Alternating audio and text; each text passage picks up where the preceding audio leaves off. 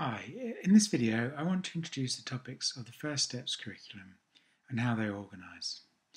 The curriculum is realised through a resource-based learning approach. In addition to the induction week, week zero, there are five topics.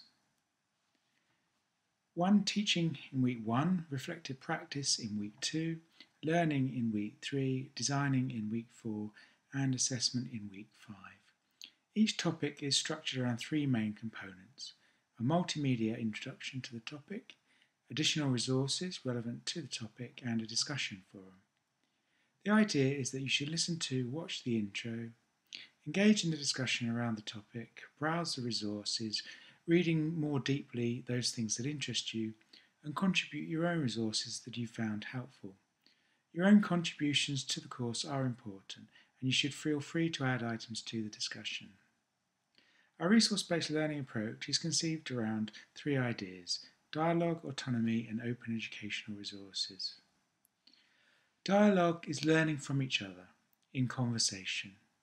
Learning is not just being told something, it involves questioning and reflecting back on things, having a conversation with the ideas themselves. By autonomy, we mean individual agency and responsibility.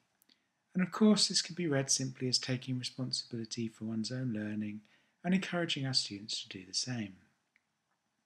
Finally, our approach is considered around open educational resources, or OER. Openness is a challenging issue currently in higher education, both in terms of what it means for universities and for what it might mean to us as academics. So dive into the curriculum and make it yours.